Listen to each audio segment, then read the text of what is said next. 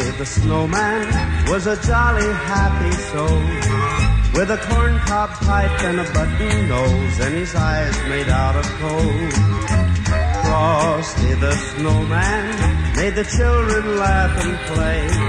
And were they surprised when before their eyes he came to life that day? There must have been some magic in that old silk hat they found.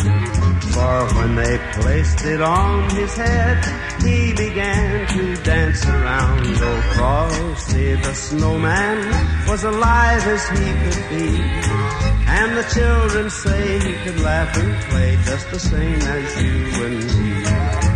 Frosty the snowman knew the sun was hot that day.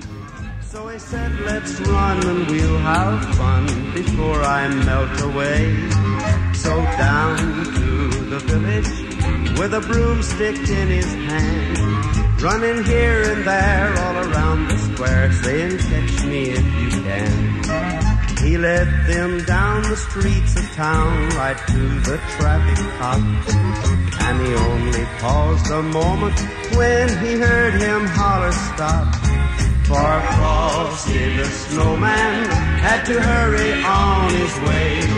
But he waved goodbye, saying, don't you cry, I'll be back again someday. Thumpity thump thump, thumpity thump thump, look at Frosty go. Thumpity thump thump, thumpity thump thump, over the hills of snow.